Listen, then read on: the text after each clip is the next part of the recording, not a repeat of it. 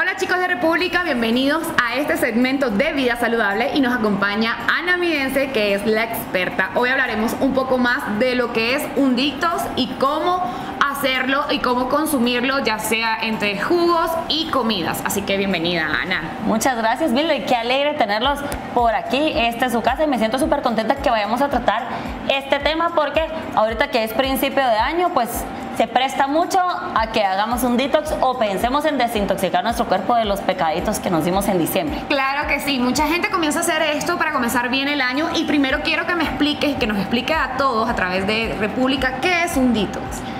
Bueno, básicamente el detox consiste en eliminar de nuestro cuerpo la mayoría de toxinas existentes, porque cuando nuestro cuerpo está lleno de toxinas, primero no quema grasa con facilidad y segundo nuestros órganos no funcionan como deberían de funcionar normalmente y eso poco a poco nos va causando enfermedades que obviamente no queremos tener.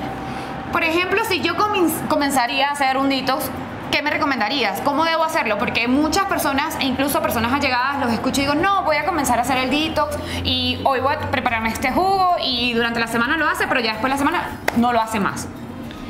Bueno, lo primero que yo te recomendaría es que un detox no es solo de estar a punta de jugos. En realidad, eh, no es que yo te diga que los jugos están mal, son súper nutritivos, tienen muchas vitaminas, pero el cuerpo no está hecho para dejar de comer. Lo que yo recomendaría es que busquemos algo que dure más en el tiempo, porque ahora un detox tiende mucho a verse como como una solución rápida a subir esas 5 o 10 libras y las quiero bajar en 3 días y voy a hacer un detox y después todo va a seguir igual.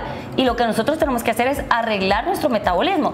De hecho, nuestro cuerpo se desintoxica todos los días.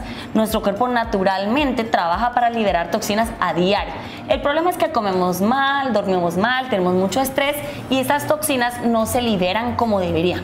Lo primero que yo te diría es que tenemos que aumentar nuestra ingesta de verduras y de frutas.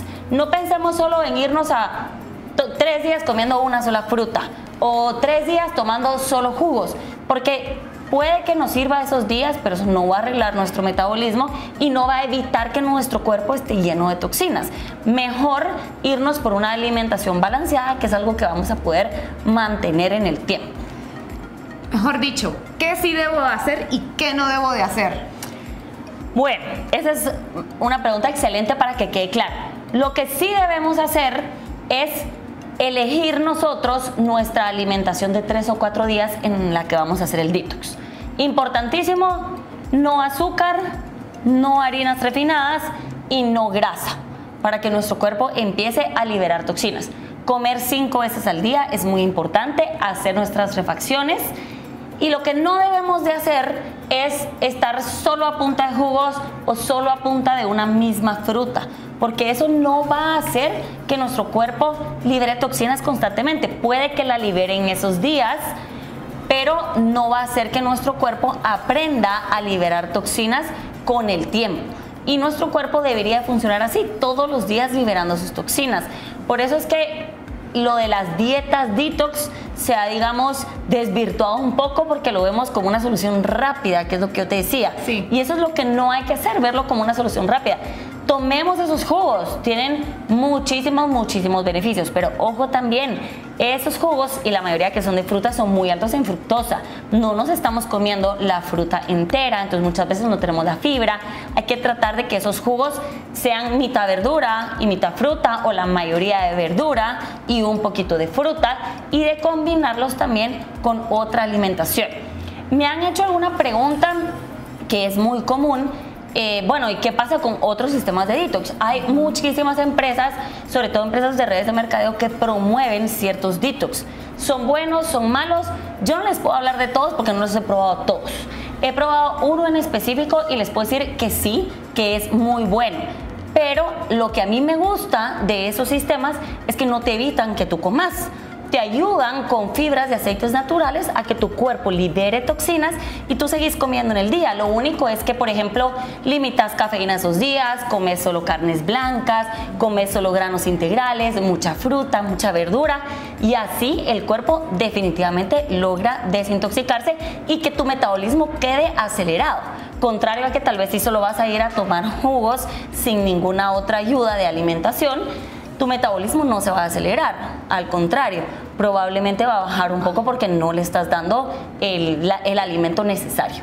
Es decir, que el detox eh, funciona como desintoxicante también, pero también podríamos decir que no es de que tenga que tomarlo una semana o dos semanas, sino que también es como que eh, yo diría eh, acostumbrar el cuerpo para liberar estas toxinas diariamente. O sea, todo también está como en la alimentación. Muchas personas creen y dicen, bueno, es que voy a desintoxicarme esta semana y ya, liberé todo el cuerpo y ya estoy limpia. El que peca y reza empata, me desintoxico esta semana y me vuelvo a intoxicar por Ajá, Exactamente. Exacto. Esa es la idea que, que nosotros tenemos que quitarnos y realmente darle a nuestro cuerpo una ayuda para que continuamente libere toxinas. Y esa debería ser como la idea de detox que nosotros tengamos.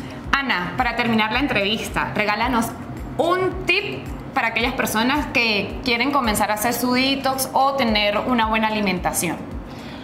El mayor tip que yo les diría es planifiquen. Si nosotros no planificamos qué vamos a comer, lo más probable es que comamos lo que se nos pone enfrente. Entonces yo les diría, planifiquen qué verduras, qué frutas voy a tener en mi refri, qué voy a tener cocinado, porque eso también es muy importante, que nosotros si no tenemos tiempo durante la semana, cocinemos el fin de semana para tener nuestras verduras, nuestras frutas, qué carnes yo voy a comer, preferiblemente en detox comamos carnes blancas, qué granos integrales yo voy a comer, voy a comer arroz integral, eh, voy a comer avena y voy a comer eh, pan 100% integral, por ejemplo, que esos sean mis granos planificar las comidas, aunque a veces parece un poco engorroso, pero ponerse, ¿qué voy a desayunar? ¿Qué voy a refaccionar? ¿Qué voy a almorzar? ¿Qué voy a refaccionar después? ¿Qué voy a cenar? Y con un plan detallado es imposible que fallemos. Ya vamos a tener eh, una buena base para nosotros hacer nuestro detox. Así que te diría, planificar definitivamente es la clave. Gracias, Ana.